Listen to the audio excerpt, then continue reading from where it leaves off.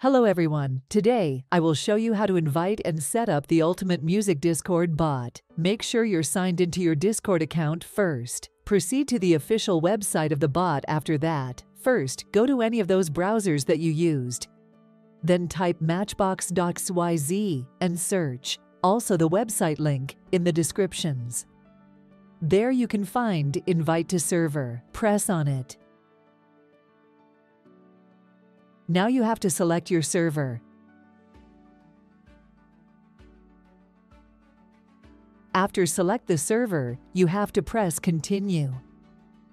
And there, you can see which permissions are taking our Matchbox. Make sure our Matchbox needs this permission, so please don't remove any of those permissions.